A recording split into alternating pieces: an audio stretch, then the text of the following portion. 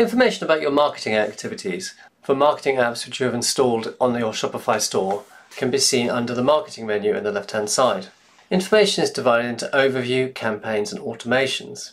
From the marketing overview page you can see the results from your marketing. Here at the top is a summary of the sales and the sessions that you have from your marketing activities. If we click on sessions we can see a graph of sessions over time which result from your marketing activities and we can also see sales for marketing and marketing cost. Here we can see your recent marketing campaigns you've created and also suggestions for marketing apps. If we click on campaigns, we can see campaigns that you, can, you have created from your marketing apps. If we click create campaign in the top right hand corner, we'll see options for creating a campaign. So for example, we can set up an email campaign, a social media campaign using Facebook, Pinterest, Snapchat, and Yahoo product ads. Shopify email is automatically installed in every Shopify store. The other campaign types will require you to install apps to run these campaigns. Email marketing is one of the best ways of driving repeat customers to your business and also acquiring new customers. If we click on Shopify email, we get the opportunity to send a email campaign. With the Shopify store, you get 2,500 free emails every month. You can either design your own Shopify email or you can use one of their pre-built templates. So let's use a pre-built template. And here, when you click on it, you see a preview of the template and you can then select it.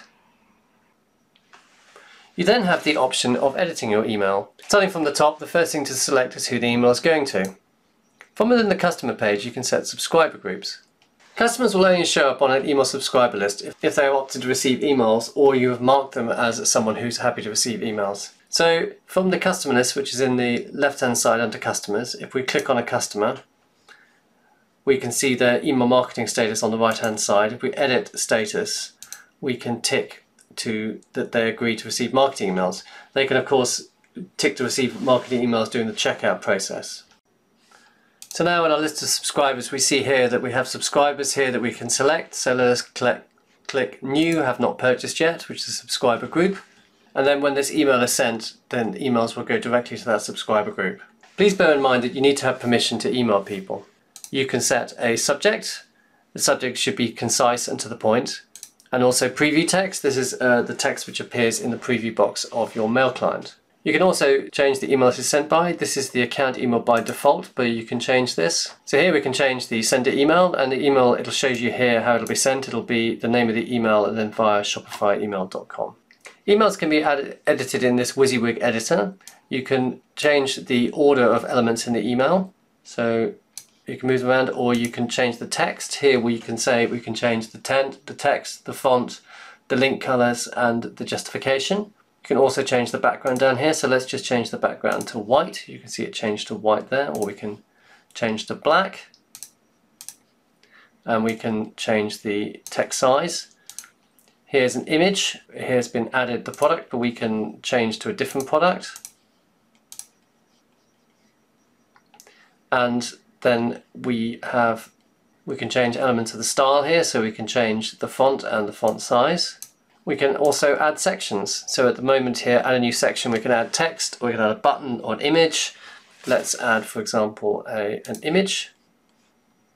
So here it's got a list of different images we can add. Let's just add the logo here.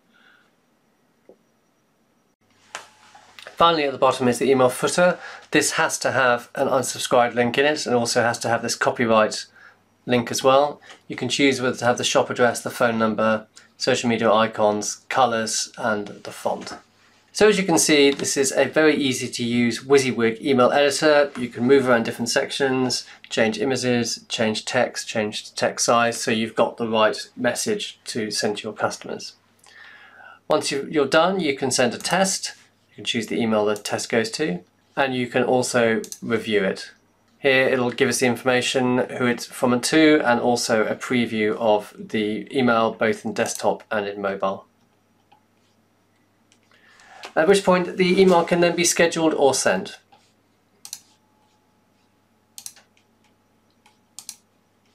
I'm going to schedule it in the future for next Tuesday.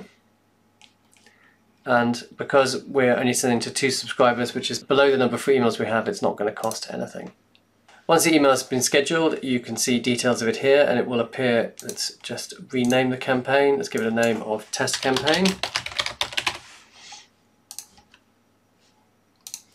It will then appear here in the on the campaigns page and also you will be able to see it on the overview, overview page. Once the email has been sent, you'll be able to see um, the performance, so the, the cost, the sessions and the sales. Finally, the automations tab. Here, this is where you can set the your marketing automations, for example, abandoned checkout emails, which will automatically go to your, your customers. Other options include things like sending SMSs and also a post-purchase offer, which is a pop-up which shows to your customers once they've purchased something. Automations can be created from the top right-hand corner, and here you will see and here you will see the apps which you have installed which enable you to do automation. So here there's uh, Google Smart Shopping Automation which shows products of interest to customers across Google's network and you'll have to install the app to do that.